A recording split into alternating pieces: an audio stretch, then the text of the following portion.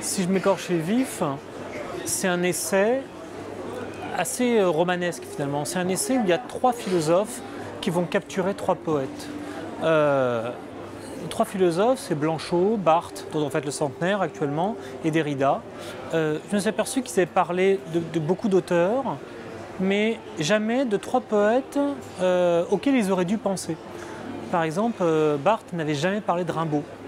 C'est incroyable, mais euh, j'ai essayé de. Je crois que j'ai lu presque tout Barthes.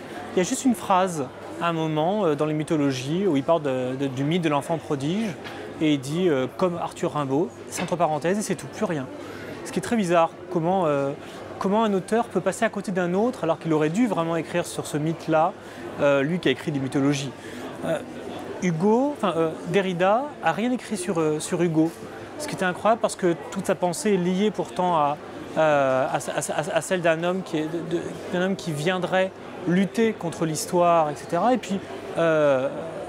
puis, Blanchot, qui est un grand critique du XXe siècle, n'a jamais rien écrit sur euh, Jules Laforgue, un poète du XIXe, alors que pourtant dans ses lettres, il cite certains de ses vers. Mais c'est tout, pas plus.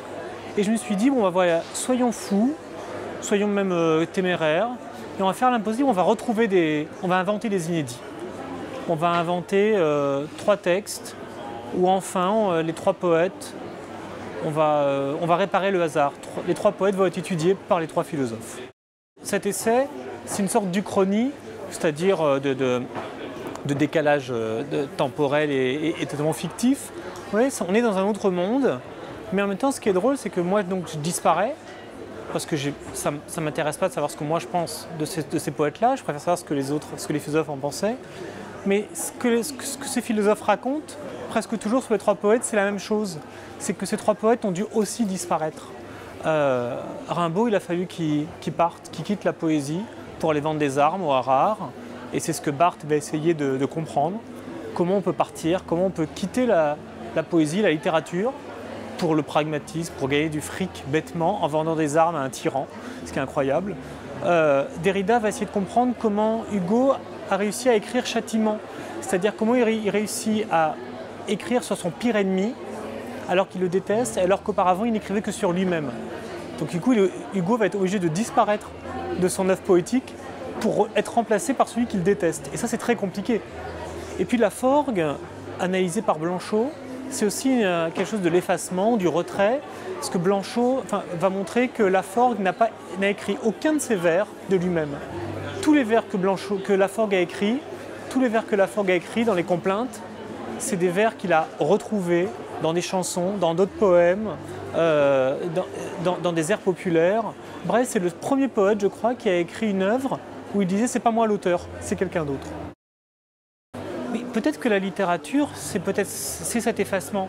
La vraie littérature, euh, s'il y a une littérature arrogante qui donne des idées à thèse, etc., je crois qu'elle a fait, euh, elle a eu son temps. Euh, les romans à clé, les romans à thèse, les romans symboliques, démesurément symboliques, ça marche plus. Euh, peut-être que ce qui marche maintenant, c'est de laisser au lecteur le choix. Euh, et pour ça, il faut disparaître. Vous savez, c'est ce que Barthes et Foucault appelaient la, mort de l'auteur. On a beaucoup, beaucoup glosé dessus, ce que ça voulait dire, mais peut-être que la mort de l'auteur, ça veut simplement dire, je vous propose une histoire, mais je ne vous dis pas ce que- ce qu'elle veut dire en elle-même. À vous de le découvrir, à vous de, trouver la signification de, l'histoire. Et, voilà. Et moi, je me retire. C'est ça, c'est tout le succès euh, des œuvres de Kafka, par exemple. Si, on arrive encore à les lire, c'est parce qu'on ne sait pas très bien ce qu'elles veulent dire. Alors que regardez euh, les grands romans à thèse de Sartre, par exemple, plus personne les lit. On sait pertinemment ce que ça veut dire, c'est plus intéressant.